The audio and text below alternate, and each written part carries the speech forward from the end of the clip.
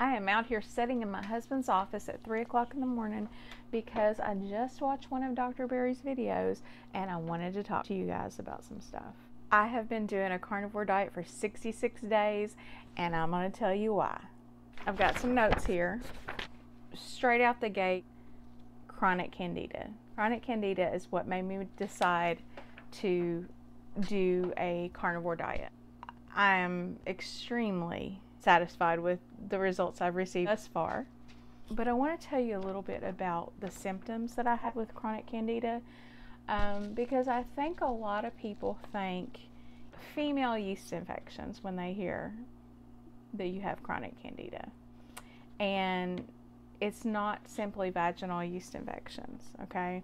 As a matter of fact, um, I was so good at keeping my stuff in check that I rarely ever got the female type of yeast infection. I would get a little tingle. Let's just say that. I would get a little tingle and I would know that it was coming and I had my ways of warding it off. Limiting my sugar would keep it at bay. However, it would never keep it at bay for long and it would also rear its ugly head in other ways. So, I have a list here of symptoms, and I'm just going to run down them just so you'll understand. And some of these may or may not be related to the chronic candida. Sometimes it's hard to tell. And sometimes, and some of these symptoms, I'm, I'm quite certain are not related to it. But I want to tell you about the symptoms that I had prior. Um, just for reference, I'm 48 years old. I've probably been technically overweight since my 20 year old was born. After uh, him, I had about 10 pounds of extra weight that I couldn't lose and uh, or that I didn't lose. And then with each consecutive child, which I have four, um, I would pretty much keep about 10 pounds. So at this point, and then, you know, we had a little ice cream action going on there. So um, at this point, well, when I started carnivore, I was probably about 50 pounds overweight. Um, and I have since lost 18 pounds. But here are my symptoms before carnivore. I had extreme fatigue for years. Um, what I would think would be could be called chronic fatigue, sleepy all the time, every day of my life, no matter what kind of sleep I got that night. Um, midday, I was definitely going to be sleepy, and I would have to take daily naps. Um, there were sometimes some periods during my life when I took several naps during the day. Once during one of my pregnancies, I would actually get up, get the other children on the bus, go back upstairs, lay back down, sleep till 3 o'clock when they got off the bus, go out and get them, bring them back in, and then say, I'm going to go take a nap before dad gets home and take another two hour nap. So I was literally sleeping all day, and I did that for months. Um, I was pregnant at the time, but it wasn't just that. I've been pregnant multiple times, and it wasn't just that. You know, like I said, probably not due to the candida, but yeah, that was something I did. Um, daily headaches. I, well, I had a whole pill box of Monday, you know, Sunday through Saturday pills that I would take every day. And Tylenol was included in that. Every day I would take a thousand, at least a thousand milligrams of Tylenol with just in the morning with my with my daily pills. Then later in the day, I would have another little container in my purse of extra Tylenol because I would usually take it more than once, but every day for sure once. And that went on for, you know, several years. GERD. Awful GERD. Awful, awful GERD. Um, I was actually on 40 milligrams of Nexium twice a day and still had symptoms. Now, typical dose for Nexium would be 20 milligrams once a day. Um, I had, just as a nurse, I had some knowledge about how these medications are actually given. And so I would just bump myself up 20 milligrams once a day, 20 milligrams twice a day. Oh, now we're going to go to 40 milligrams twice a day. And still had symptoms. Um, I had developed a intolerance to wheat. That's another. That's a big symptom of my. I think it's of my candida is I developed a lot of different intolerances to foods that I had been fine with my whole life. Um, I developed an intolerance to wheat where the main symptom from that would be coughing. Um, and I and and I would have postnasal drip really really bad. So it was like, is the GERD causing the cough? Is the postnasal drip causing the cough? Is candida in like esophagitis causing the cough? Because I did have some of that um, a couple times. It was really it was hard to to tell, and no doctor could ever really help me. Um, now, if I had, which they had wanted me to have an EGD, I'd already had one in the past, and they wanted me to have another one, but I just never scheduled that. I didn't want to do it and I knew that if I stopped eating the sugary foods, it would go away. But yet, I was addicted, and I would still tell myself, oh, you can just a little bit of sugar, it'll be fine. An addicted brain will tell you whatever it you, that you are addicted to is just fine. You can you can do a little bit of it. You can have one donut, it'll be okay. You can't it's with me, I for one am all or nothing. Like either I'm eating all the sugar or no, no sugar at all. There's no in between. So, literally, what would happen with me, I would eat something with wheat in it, and almost immediately, I would have. It was like it, my stomach was just rejecting it. It wasn't like a little GERD.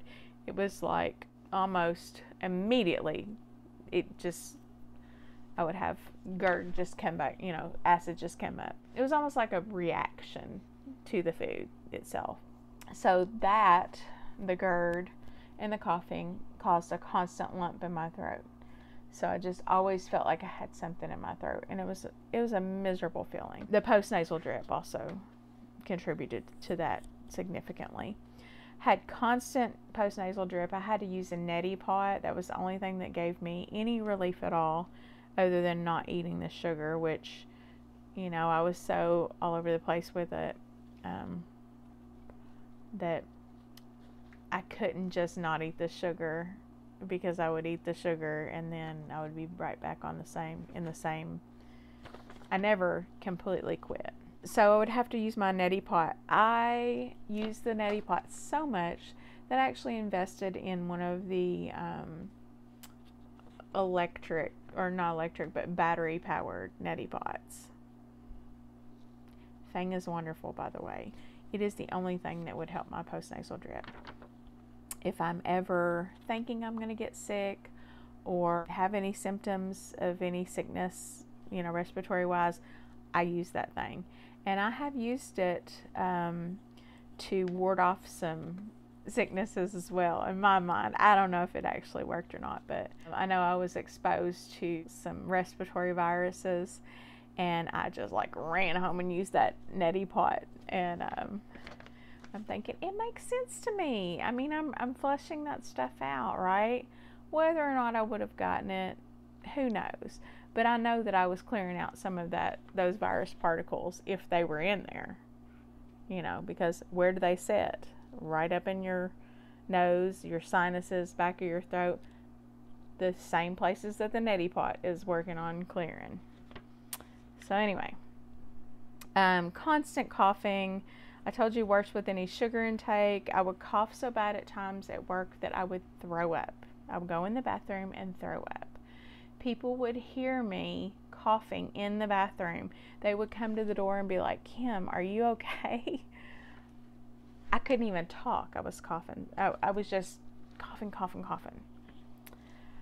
Um, I know some of that was due to yeast because I also developed thrush two or three times.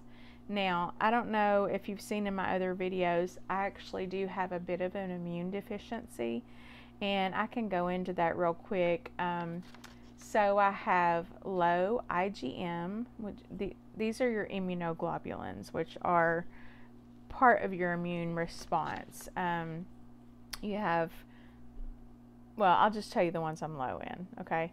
IgM is low, it's around 20 if that means anything to anybody. Um, my IgG was normal, but then once they did, they broke it down into the subclasses. My IgG subclass 1 is low, and I have something called um, mannose binding lectin deficiency. And it is actually on, um, when I took my 23andMe data and I plugged it into Genetic Genie, it is actually a hereditary thing.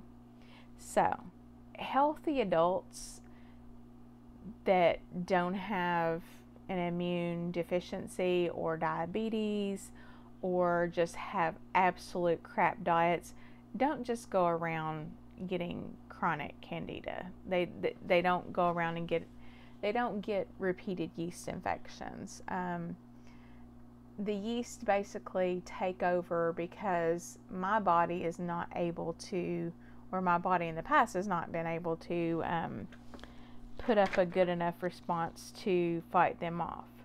Now, it seems to do fine with most bacteria and viruses, but for some reason, the candida with me, I'm super, I'm very susceptible to it. And so that's just something that I've had to deal with my entire life.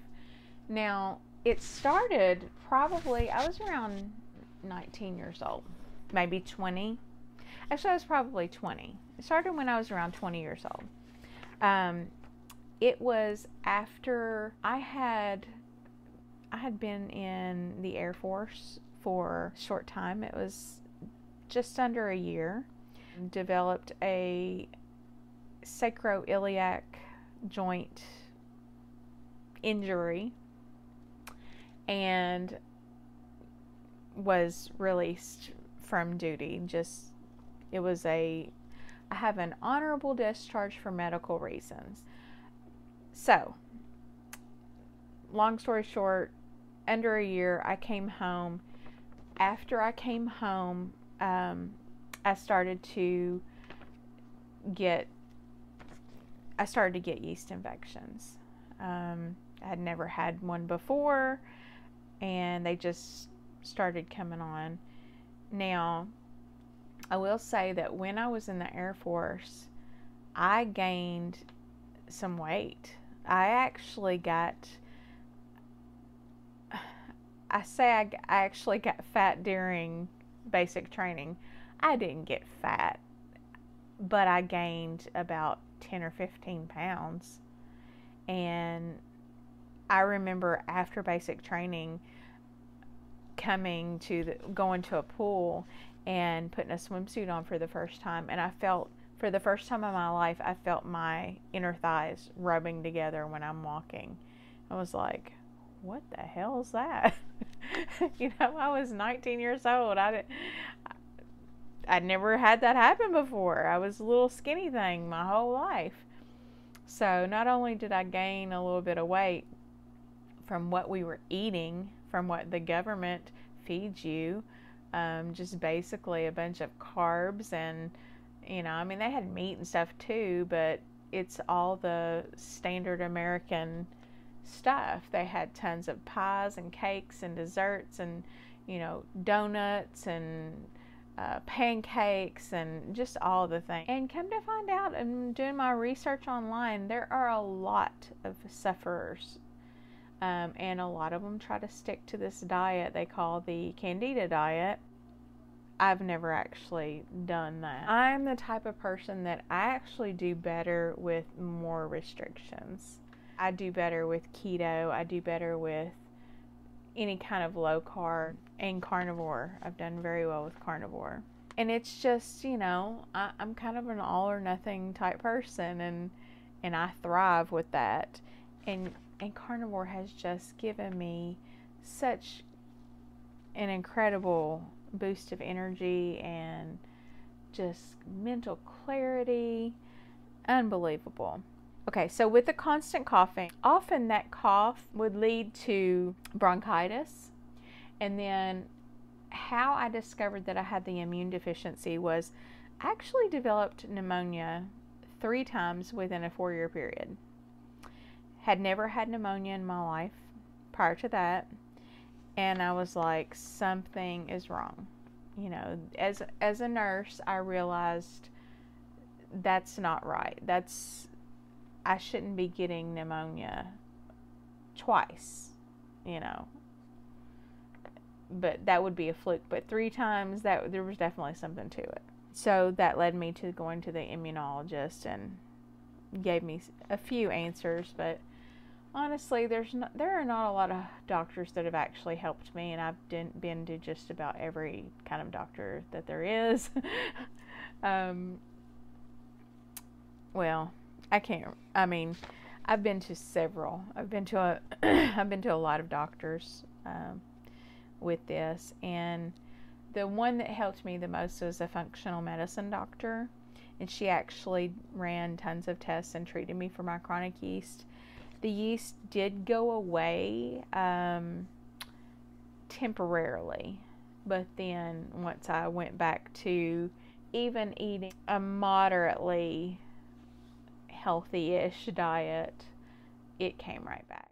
So, ADHD, my ADHD symptoms that I've had since, I, mean I've had a lot of this since childhood, but it was getting really, really bad. I've tried numerous stimulants and non stimulant drugs. I can sleep through the stimulants. I could take Adderall and lay down and take a three hour nap. It does not affect me like that. However, it is a stimulant and it is addictive. And so I was concerned about getting off of Adderall, but I'm happy to report that I am now off of Adderall. And what helped more than anything doing a sardine fast, let me tell you, honey, those omega 3s, they, oh man, it, my brain was just like, I've never seen my brain like that before. I didn't need the Adderall. I quit taking it for three days, and then after that, it, I went on vacation, and I was just like, "Who needs Adderall on vacation?" You know, I don't need to pay attention to any of this stuff. but yeah, I could sleep through the stimulants, and I mean, with me being as fatigued as I always were, was, I had actually agreed to take the stimulants, hoping that maybe that would help my wakefulness a little. It didn't, not at all. Um, joint aches, constant joint aches. My SI joint was the worst. My ankles, off and on throughout the years, had hurt so bad. I mean, there were times that my ankles would hurt so bad that I had trouble walking, you know, and the least amount of weight that I would gain, like even the most minimal amount of weight, like five, ten pounds, it would change my ankle pain significantly. And I haven't had, knock on wood, I haven't had any ankle pain and I don't have any joint aches anymore. It's it's amazing, y'all. The worst thing, I was getting a lot of these symptoms that I thought were kind of autoimmune in nature. And one of those well, two of those. One of them was um, I had one joint in one finger that just swelled up and hurt all of a sudden. I didn't have an injury in it. I went and got an x ray. X ray was fine. And it just my doctor that's that's another reason why she sent me to the well she sent me to a rheumatologist at that point because she thought that I had psoriatic arthritis or possibly another autoimmune disease. All of my markers for autoimmune diseases were normal. And when I went to see the rheumatologist, he basically, this is at a university hospital, so they see the worst of the worst. So he basically looked at it, eh, you know, sent me on my way, you know. He, he didn't do anything for me at all, really. He ordered an MRI of my SI joint I didn't want to pursue that any further. It just seemed kind of pointless to me. And actually, I do still have a little bit of SI joint issue, and I'll always have that because I have that, you know, old injury, but it has definitely improved with the carnivore diet. But uh, one of my worst symptoms seemed autoimmune in nature was when I would get up in the morning, you know, you're freshly stepping out of the bed for the first time. My the bottoms of my feet would hurt so bad. They would just ache so bad. It was like I had been walking, you know, if you walked in a mall for half a day, the way that my feet felt on the bottom. It was like that. So when I would wake up in the morning, I would feel like a zombie. I would I would be so tired. If I, didn't matter if I'd gotten eight hours of sleep or not, I would be so tired in the morning, and I would just be like zombie, like just almost like running into stuff, and it was awful. My tendons in my hands and in my feet would hurt, and they would feel like they almost would catch at times you know, I would go to reach for something and I'm like, oh, it's just a jolt, you know, it's, it would feel like they were like rubbing over the top of each other as I would, just a really weird sensation. But it was obvious inflammation in my tendons. I've had numbness and tingling in my hands and feet off and on for probably 20 years. And actually, I have a funny story. I went, I told my doctor about 10 years ago that my hands get numb a lot and especially if I raise them up above like you know maybe chest level even even to put them on the shopping cart they would be numb within a few minutes and she said well are they numb 24/7 or just off and on I'm like well it's off and on you know it's not not 24/7 and she said Okay, well, tell me if it gets to be where they're numb 24 7. what? What? Did I hear you correctly, ma'am? Did you just tell me that that I have to be completely numb 24/7 before you're going to look into this any further? Honey, that's that's malpractice. I'm just going to say it right there. That's malpractice. So inappropriate. Okay, another symptom I had. This is number 12. Um, and this started after I started taking the uh, GERD medications. Prilosec was the one that I was taking when this actually started. But I would, the only way I can explain it is like whole body vibrations. I would lay down and I would feel like it was like a like a buzzing throughout my body. Just it felt like it was almost like a pulse, but it didn't go with my heart rate. So that was kind of weird. And I thought, is this MS? Is this I mean, this is a neurological symptom. I knew, you know, sometimes when you know when you have some medical knowledge and you try to put your stuff together and diagnose yourself, you can think a whole lot of things are wrong with you. Um, and I still, I don't know what caused that. Um, I quit taking that medication, I, and I would still have it from time to time. So, um, and when I told the doctor about that one, I just got the look like, with all these symptoms, do we need to send you for a psych eval? Like, that's how she looked at me. And I know, as a medical professional, I know what she's thinking because I've thought that stuff before. I hate to admit that. Um, you know, we would actually have people who would bring in this kind of thing, bring in this kind of thing, bring in their list of symptoms, and they would really be thinking, like, I'm giving them every little bit of information so they can put that puzzle together. They can figure this out. I know they can. They had faith in us. And guess what? Guess what we did? We let them down. When they see these the, the list of symptoms, the doctors don't think, oh, this person's really in touch with their body. They think, cuckoo, cuckoo. It's Sad but true. Okay. Now, let's see here. Um, okay. Heart palpitations. Uh, AKA, in my case, these heart palpitations were PVCs, premature ventricular contractions. Um, I know this because I would hook myself up to the monitor and see them.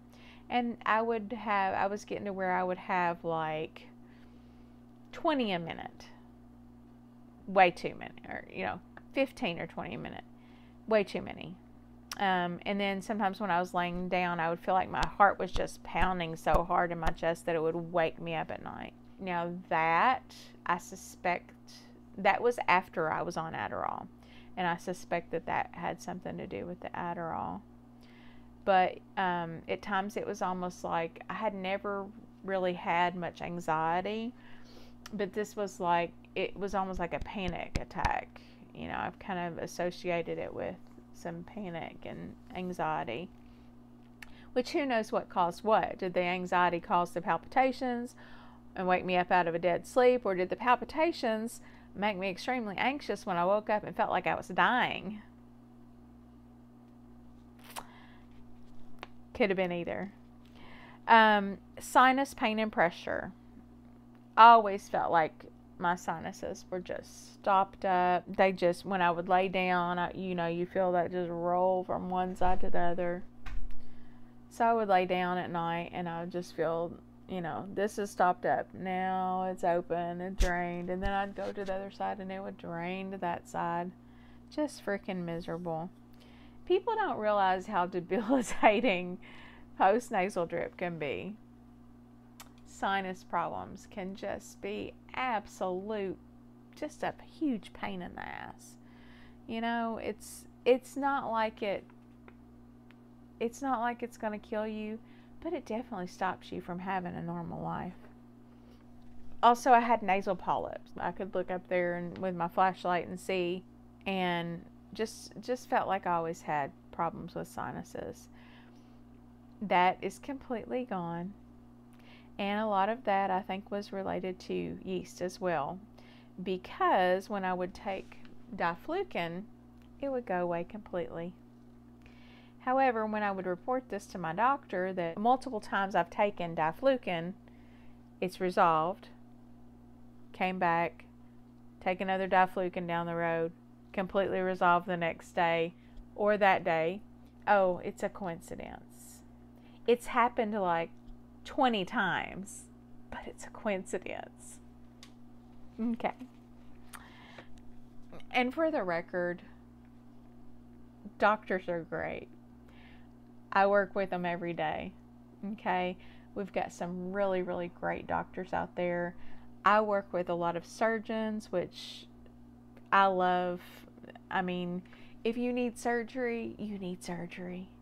You know, and and when they fix you up, they they do a great job. A lot of them, they're really good. But you know, the gaslighting that I've experienced as a nurse going to my doctors and trying to get answers has been just like if I can't navigate the medical system as a nurse of 23 years what's the next person doing? You know what's the what's the, the what's the layman doing here? You know i swear i want to start my own business where I charge a fee to go to your doctor's appointment with you, to interpret everything they say to you, to ask appropriate questions, and then to advise you on what what your options are. I think that would be a, a terrific business for me to go into.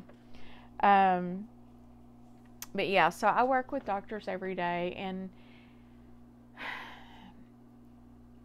what it is, in my opinion, they're taught one thing in medical school.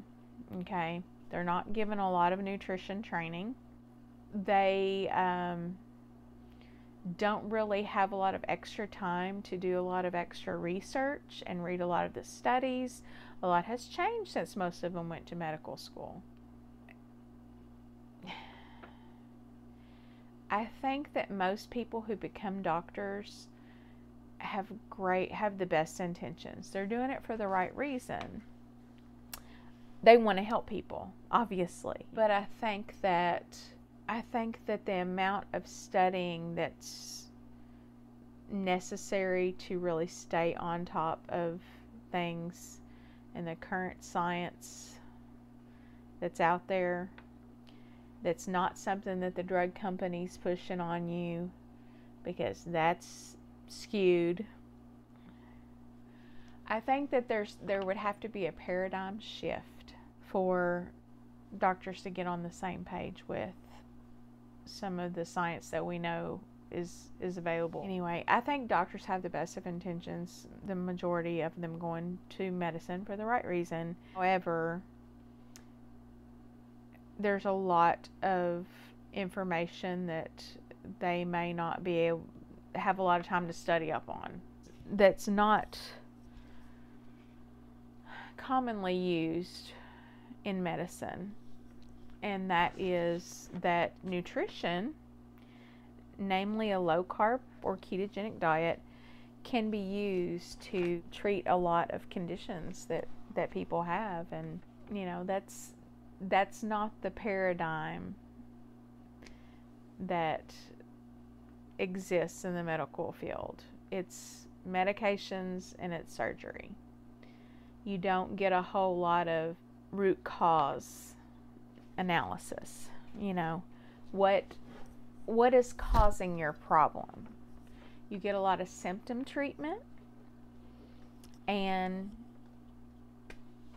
you know, what medication can I prescribe for that? What tests can I run to detect that? But there's not a lot of okay, why do you have GERD? You know, that's something that I have realized as I have met so many people that have been able to get rid of their GERD just by eating a proper diet or a proper human diet, as Dr. Berry says. Um, that's one thing I've realized is that if you have GERD, it's probably something you're eating. But I've literally never had a doctor tell me that. It's just, it's just, I know, I know, I know. Because when something happens to you, then you know it firsthand. And you don't need a doctor to tell you that that's the way it is because you know how it is because you experience it. But sometimes the medical field, we kind of poo poo people's experiences too. And, you know, as they're rattling off all their symptoms, we're like, and I say we, the medical field in general is like, oh no, that's that's not it. That's not that couldn't be it.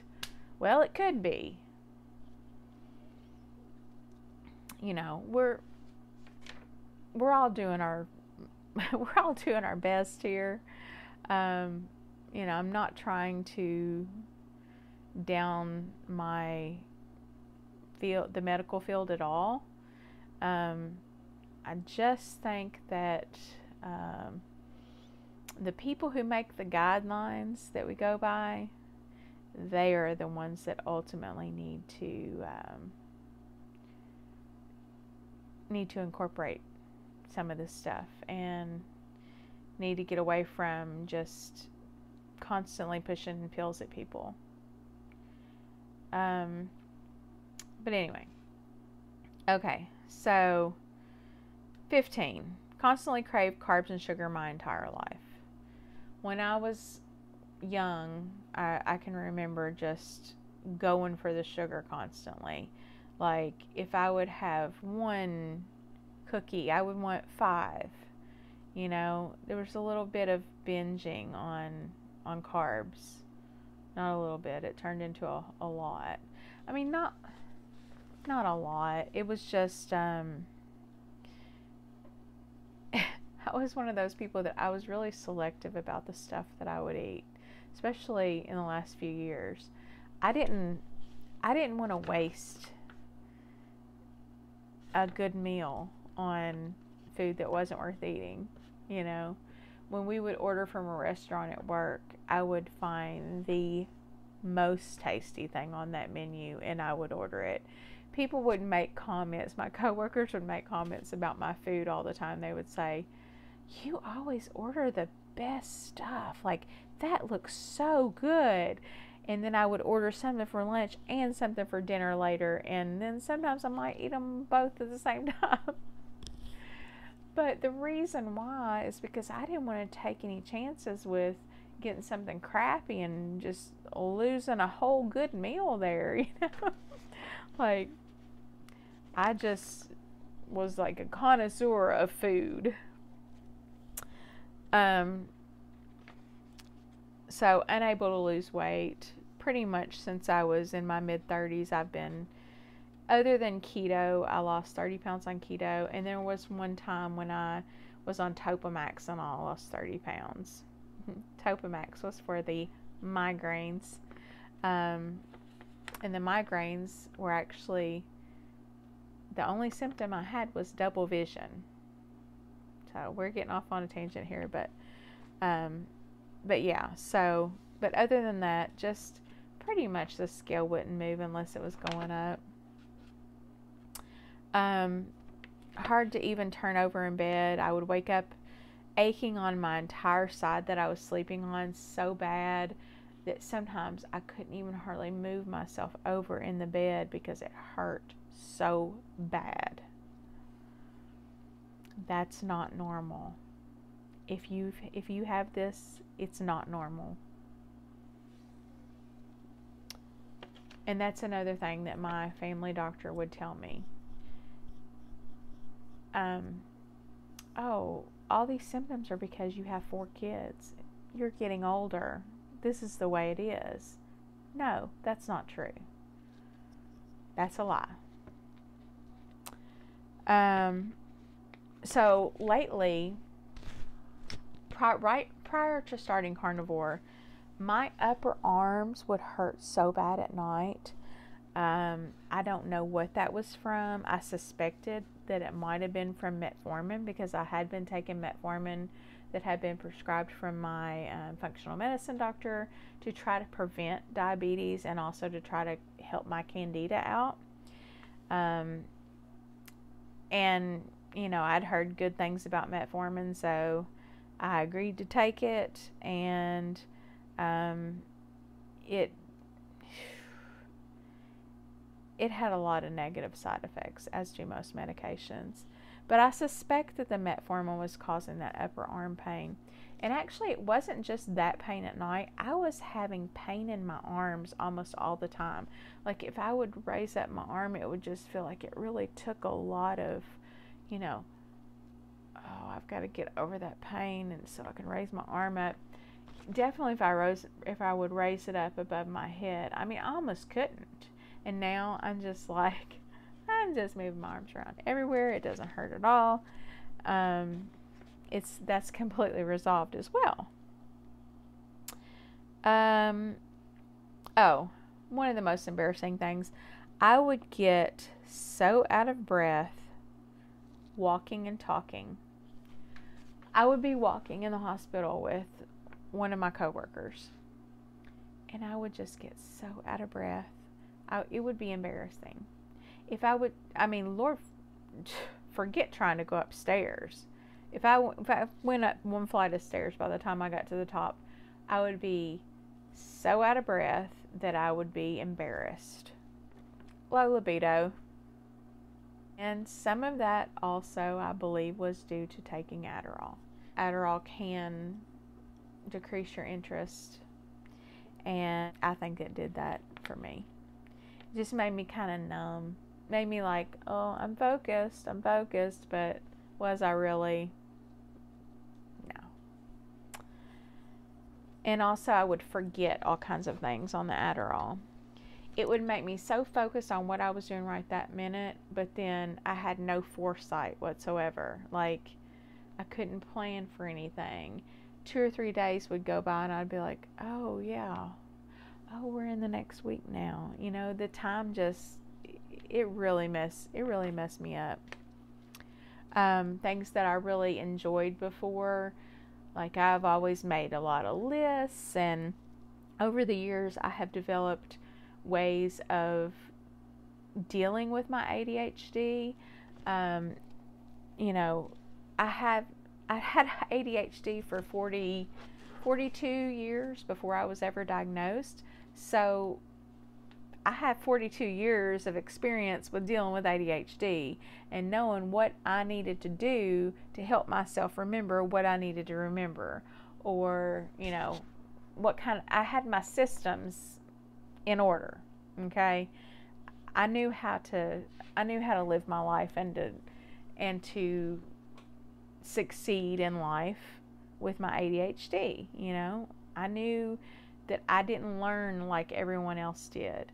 Um, videos worked better for me. I knew that I um, couldn't pay attention as well, so I would record my classes and then go home and type them out or write them out. Um, just many different things that I would do to um, overcome my ADHD symptoms. My overall mood was just lower, even though I have always been a fairly happy person. It's hard to be happy when you're that tired. I mean, when you're when you're so fatigued that by the end of, by three o'clock you're just so drained and any little thing feels like it just takes a huge amount of effort to do. You can barely even feed your kids because you're just so exhausted. And then they would always have activities at six o'clock you know.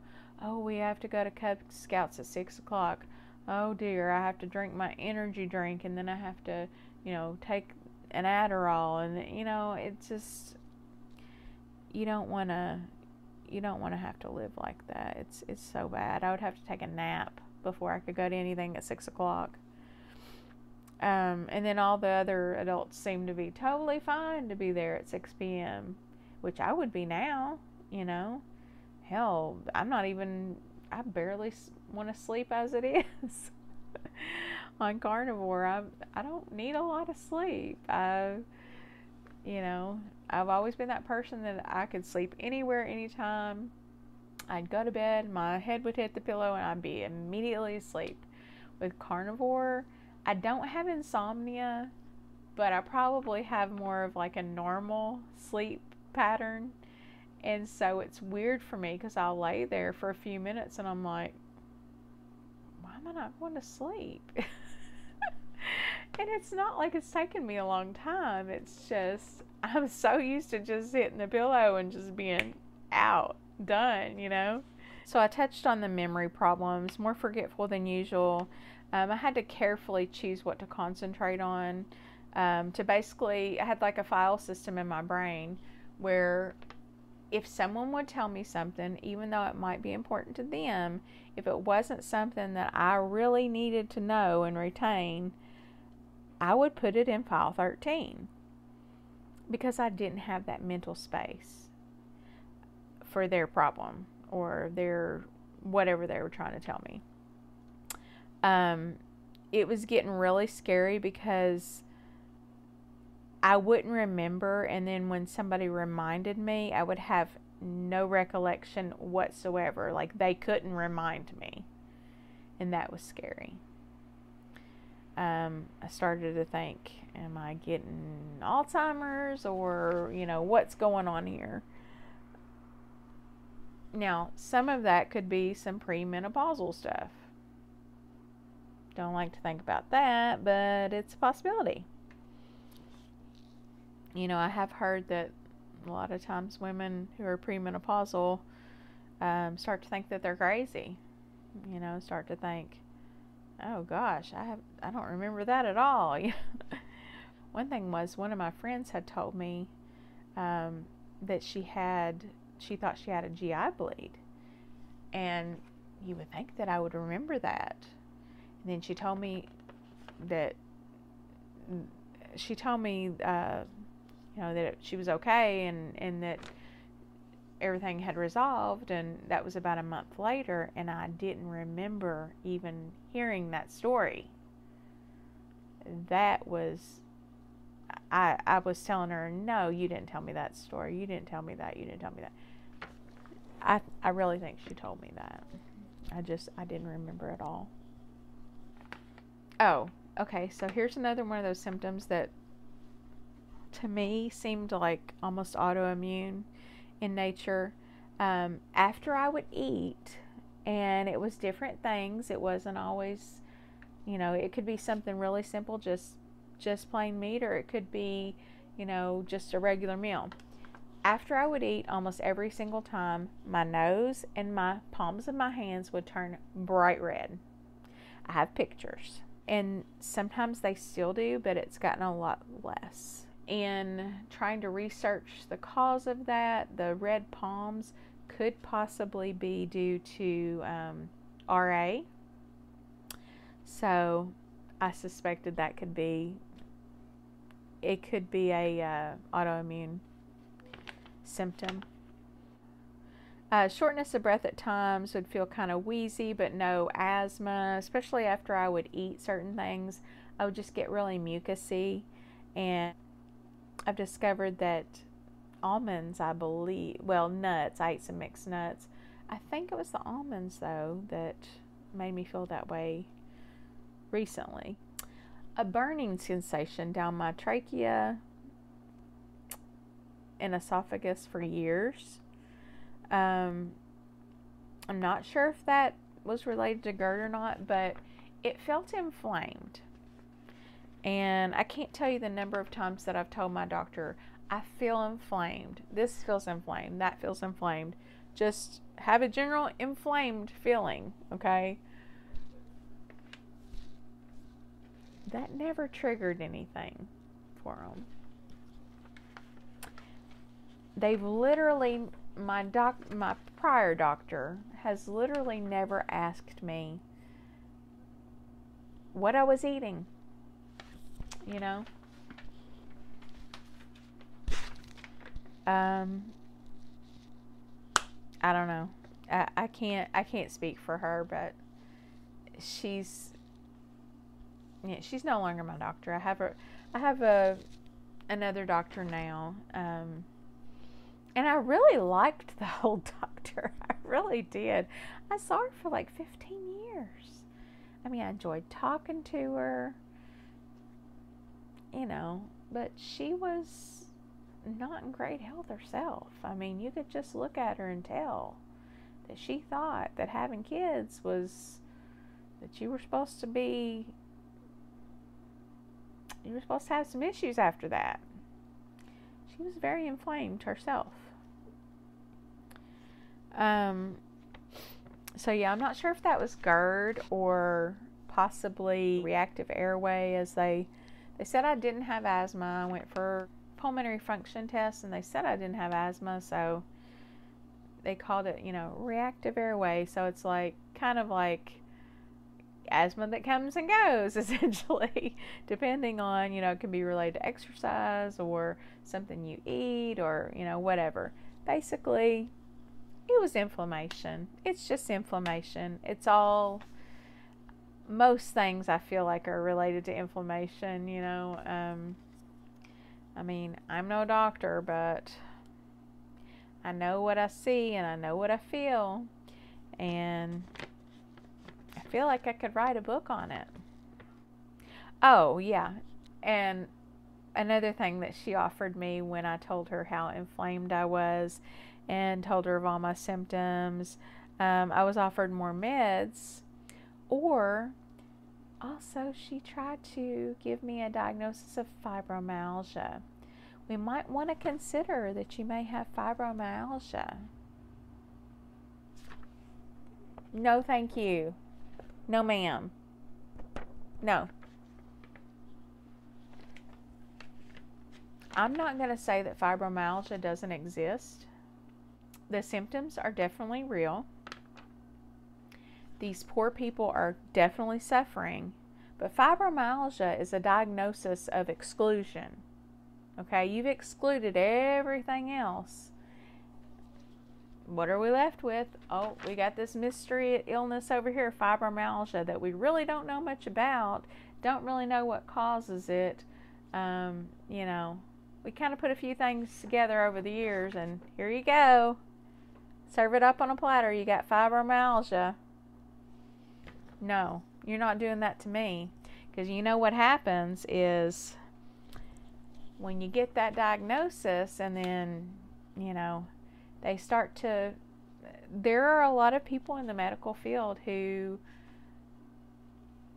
will see that diagnosis and they will make assumptions about you. And that's all I'm going to say about that. You know, they they will make assumptions that you know, you're one of those people that brings in the list. You know, you got a lot of crazy going on here, all right? None of this could possibly be real. It's a lot of crazy going on. Okay? You got the fibromyalgia on there. No, not doing that to me.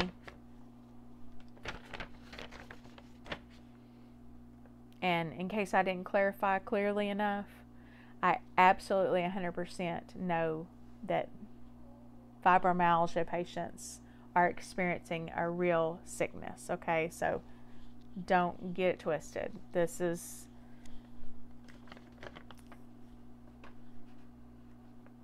it's it's a real thing, okay? Um I just don't think that it's what they're calling it. I think that it's I think that it's basically um, due to inflammation.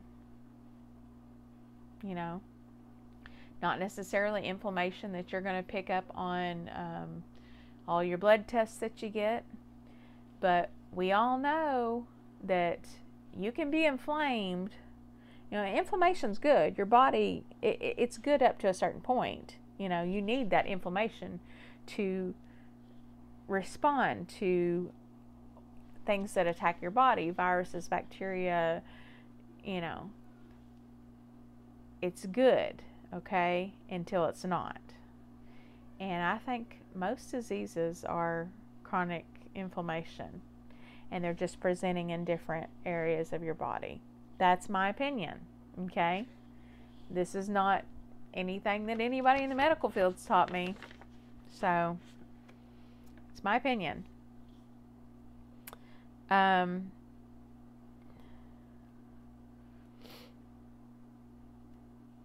oh, IBS symptoms gassy, bloating, every single time I would eat any carbs whatsoever, whether just salads or bread, I would get very bloated. And I'm talking bloated like up at like right the top of my abdomen bloated like at the top of my abdomen where you know like where my actual stomach was. Um just um so gassy so gassy. If i would eat any wheat at all um yeah it it was it was bad now on the carnivore diet, guess what I don't have? Like at all. no gas, none at all. Oh, something else crazy that happened on carnivore. So when I went on vacation, I actually drank a little bit and I had some vodka and I put some electrolytes in it um, because, you know, I thought maybe that might make the next day not so bad. Um, well, the bad news is that uh, the next day was awful.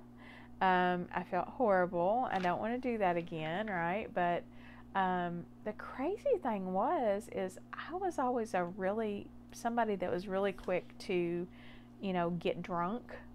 I mean, I could have like a couple, three drinks, and I'd be, you know, I had two or three shots of vodka would have put me totally out before. I didn't even feel buzzed at all. Like it wasn't even a good feeling. So I I think there's something there with carnivore. I don't I don't think carnivores get drunk.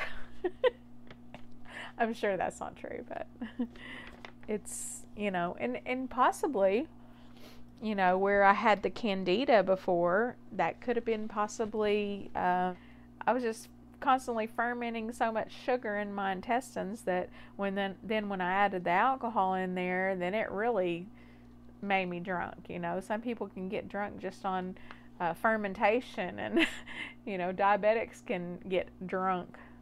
Um, anyway, we won't go into all that, but um,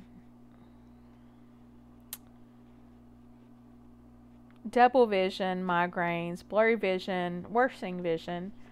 Uh, my vision used to be 2020, and it was 2020 until I was probably like 30 years old.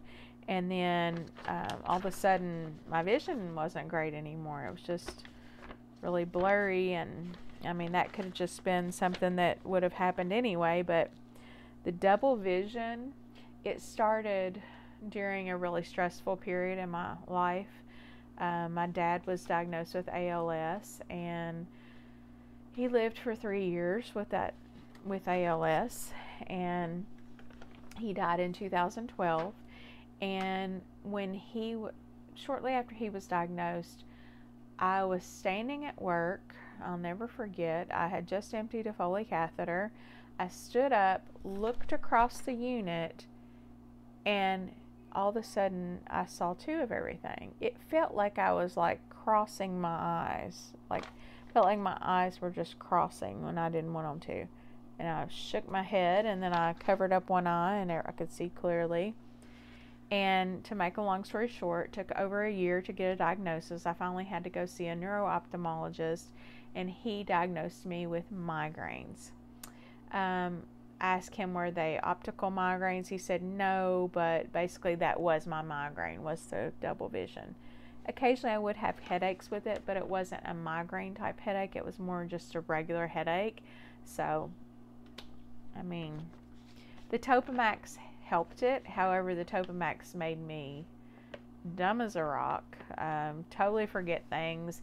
It made me flip words that, or, or flip things that I would say and I would think they came out the way they were supposed to come out, but they came out just like flipped around. So, like I would give the doctor results of, you know, the patient's hemoglobin and hematocrit were blah blah blah blah blah blah. Only in my mind, I thought I said it correctly, but I said it backwards. You know, I I gave the number for the hematocrit with the hemoglobin and vice versa. So that was that was a mess. Um, so, basically, what I discovered with the migraines was how I could help prevent those. Um, was also with what I ate. If I ate a lot of sugar, it definitely triggered it. The worst one I ever had, I was laying on the couch after work and I ate almost a whole bag of M&Ms. I'm talking about it like a big family-sized bag of peanut M&Ms. Um, I got such severe vertigo and with the double vision that if I would move my shoulder over just an inch, it would just feel like it was, I mean, the whole room was just spinning. That night I actually thought I was having a stroke. And we and I ended up taking a ride in the ambulance to my own hospital. So, yeah. It was nice to finally go ahead and get that diagnosis and the Topamax did help it but like I said, I had to get off it because it just Topamax is a very harsh drug. It causes a lot of bad symptoms and if you don't absolutely have to have it, I wouldn't recommend it. Um, did lose 30 pounds though because it completely took my appetite away. However, that was not that was not a good reason for continuing to take it, so I eventually weaned myself off of it. Um, and, you know, like I said, I controlled the migraines with um, eating, trying to eat better. And um, when I would have them, it was, you know, maybe once or twice a month. And it wasn't every day as it had been in the past. Okay, guys, my phone went dead. So I'm going to have to pretty quickly wrap this up. It's getting really late. Um, but I'm just going to kind of read over some stuff that I had written down. I could never just get up and go in the morning. Now, if I wake up, I have to get up because my legs have so much just energy. It almost feels like I have restless leg. I'm just turning, tossing and turning in bed because I have so much energy, uh, which is a great thing. And in the past, I had hot flashes really bad after carbs. Um, early in the pandemic, probably due to stress, I was having really bad hot flashes and I thought that I was going into menopause, which I quit, I cut the carbs out and they totally went away. So, um, acne, candida rash versus wheat rash on my face and neck. So like all along my jawline and then down here, I would just have this just really itchy rash after I would eat wheat um, and or sometimes sugar. And let's see, saw every doctor known to man, functional medicine doctor, of course my primary care doctor, functional medicine doctor, rheumatologist, immunologist, neuro-ophthalmologist, chiropractor, massage therapist monthly. As a matter of fact, I'm going tomorrow because in the past, if I didn't go to the massage therapist, I didn't function. I wasn't able to move, you know, and I have to be able to move to take care of other people um, my legs in the last probably six months. My legs, when I would sit on the toilet, and I wouldn't even be there for a long time. I'm not a long toilet sitter. But sitting on the toilet, my toes would look, would have like a purplish tinge to them. That tells me that my circulation was not great in my legs. And they would go numb. And sometimes at work they would go numb just me sitting at the desk. And I would have to stand up and you know stomp around and stuff to get them to come back.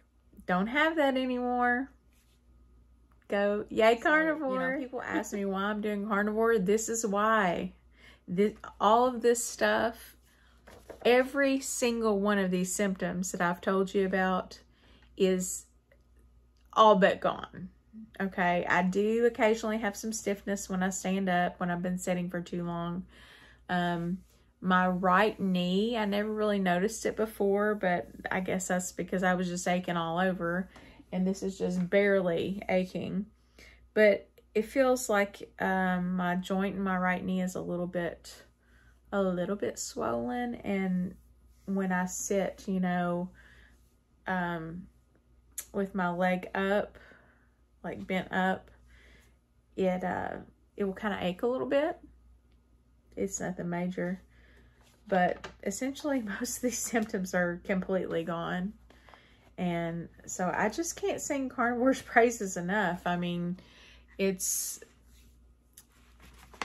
I want to tell everybody about it, but nobody wants to hear about it. So that's what I'm telling you guys, because if you're here, you must want to hear about it.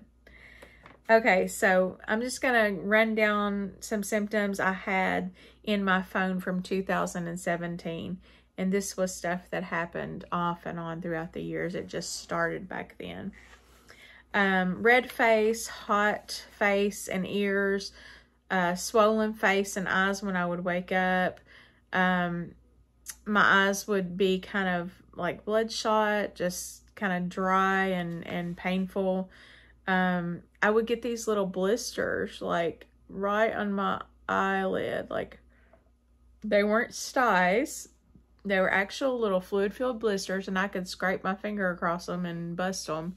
If I didn't, they would just feel like, they make it feel like something was in my eye the whole time. So I would have to just scrape my finger across them and um, bust them. I'd wash my hands first, make sure they were clean. Um, but yeah, that was very uncomfortable. And I think that was just like an inflammation. I mean, y'all, chalk it up to inflammation, okay? Inflammation is 99% of my problem. Um, inappropriate inflammation, by the way. Uh, okay. Hot hot breath feeling, um, flu-like symptoms. And, and the hot breath feeling I've always explained as if you've ever had a fever, which I really don't get many of those, and I think that's due to my immune deficiency. That's just something that I've put together, but I've always known my whole life that I really hardly ever get fevers, you know. Um, other people would get really high fevers, and I might get a little tiny fever, but it wasn't anything compared to everybody else's. And I would rarely, rarely get them, even when I had the full on flu. Um, but yeah, hot breath feeling I explain as the times that I have had fevers. You know, they were probably never above 102. Um, but you just get, you just know that you have a fever. Like you don't even have to take your temperature. You just feel that hot breath. It, it's hot breath feeling. I don't know. Um, so my body would just feel inflamed. Um, loss of appetite, not much interest in food at times, sleeping up to 18 hours a day, rash. I had various rashes on my abdomen, arms, legs, not terribly itchy. It was just there. Um, body aches. Um, at that time, I was taking Crestor, Zoloft, Wellbutrin, and Prilosec. Now, I pretty much got all of, off of all those except for Wellbutrin. I still, the only medication I take now is Wellbutrin and vitamin D. So, um, diarrhea off and on. Um, never really had much constipation. It was mostly just off and on diarrhea. And, and I've had that pretty much my whole life. Like I would eat something and before we would leave, usually out at a restaurant, before we would leave the restaurant, I would have to go to the bathroom. So that was fun. Um, oh, aching elbows. Like my elbows would ache all the time. And I was really kind of worried about that because my dad told me when he was still alive, he told me that one of his uh, only symptoms of his, he had three blockages in his heart. He ended up having to have open heart surgery. And um, his even his widowmaker was like 90 i think they said 95% occluded. Um, but one of his only symptoms was elbow pain and after he had the CABG, the open heart surgery the elbow pain resolved so that was really concerning to me but i'd had elbow aching elbows for a while um, aching knees fingers fatigue um, itchy hands and feet. Oh my, that's inflammation, y'all. Itchy hands and feet. The soles of my feet would itch so bad and they would get like hot and feel like they were swollen. And that was one of the symptoms I would have after I would eat, you know, particularly wheat. Um, I remember once I went on this um, Advocare diet and I took all their supplements and did all the stuff. And the supplements basically caused a bunch of diarrhea. Um, you know, of course I lost some weight there, but um, you know, it wasn't wasn't a great diet plan for me.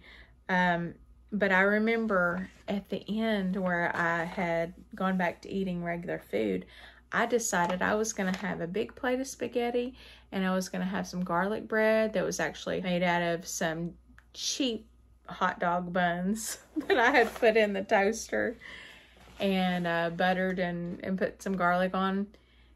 And oh my gosh, after I did that, I was immediately just stopped up. Nose was terribly stopped up. Um, and then my hands, the palms of my hands and the soles of my feet were red, swollen, and itchy inflammation, y'all. Um, so, you know, I told you about the coughing. It was a horribly dry, just itchy throat feeling. Um, my legs, I told you I had some leg numbness, um, extreme fatigue, muscle soreness, Charlie horses, uh, feeling like my blood sugar was low all the time, even after eating. That was a really weird feeling. I'm not sure what caused that. Um,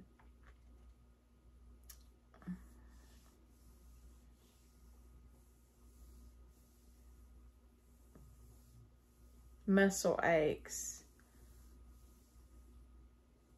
Um, oh, and a really weird symptom, and this is probably going to be the last one I'm sure it's not the only one, but it's going to be the last that I tell y'all about tonight. Um, and it, I remember this first happened when I was pregnant. And I actually talked to a PA at work and she had the same symptoms. And we determined that we thought it was some sort of vitamin deficiency. Never did really figure out which one it would be, but um, but that was our our best guess.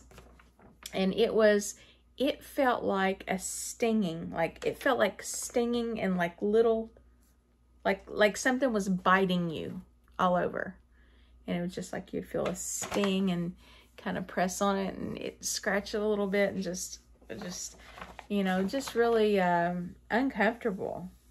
And then you'd feel a few minutes later you'd feel another little sting. The best i can describe it would be um maybe like getting bit by a little ant or a or maybe getting bit by like a sweat bee or something you know? It wasn't horrible but it was enough to where you knew it was there. And then you'd look and there's nothing there. So that was weird. But yeah um and this is a lot you know? Um it was hard to even remember to write that list it was hard to even remember all the symptoms over the years, I had put a lot in my phone from just various trips to the doctor because I have learned that if I go in the doctor's office, I'm not going to remember everything to tell them, first of all. Uh, secondly, they're telling me stuff, I'm telling them stuff, and then they'll leave the room and I'm like, oh, wait, I forgot to tell them the most important part. So I like to collect my thoughts, get them in my phone. And so I had that data there. You know, I had that information there that I could just basically put in a, um, that I could just basically print off and read it to you guys. But, um, but yeah, so if I were, if I were asked what my very worst symptoms were and what made me start the carnivore diet, it was definitely candida, the chronic candida. And I read a study that uh, where a girl had gotten rid of her chronic candida. She she basically cured herself of chronic candida with the carnivore diet. So that's the only reason why I even pretended to why while I why I ever started the carnivore diet was because of that. Now, I had every intention of after about 30 days or 60 days going back to or going to keto, um, at this point, I really haven't had much desire to do so because I felt so good. So we'll see how it goes. Um, I may, I may transition to a ketovore, um, but we'll see. You know, we'll see how it goes, and I will try to keep you guys updated. I'm sure for some people this is going to be the most boring thing ever, but I felt like I needed to get my symptoms out there so that you would understand just how much was going on. And I was still a fully functioning person who was going to work every day. Well, not every day, but several times a week and taking care of everything that needed to be taken care of and I wasn't down for any amount of time. It was just miserable, just miserable every day. And now I'm not. Now I have limitless energy. I mean, the energy that I have is just like, wow, through the roof. Um, I don't ever have headaches anymore. I used to literally have headaches every single day.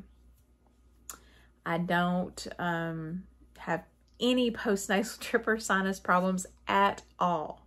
Okay, none. Um, aches and pains are very, very few and far between. uh, just recently went on a trip to Florida, and before I would be aching so bad in my hips by the time we got there that, well, first of all, I would have had to stop halfway because I wouldn't have been able to do 10 hours like that. This time I did 10 hours. I was barely even stiff when I got out of the car at the end of the 10 hours. So just so much has changed for me. I've lost, like I said, 18 pounds and I probably have about 30 more to go. So I will definitely keep you guys updated. And thanks for uh, chatting with me this evening or this morning. and I think I better go to bed now because I think it's pretty close to 4 a.m., if not past it. So I'll talk to you later. Bye.